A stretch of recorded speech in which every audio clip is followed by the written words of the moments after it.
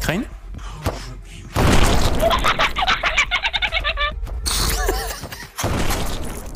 Bah, GG les gars. Bah, GG hein. Bah, GG les gars.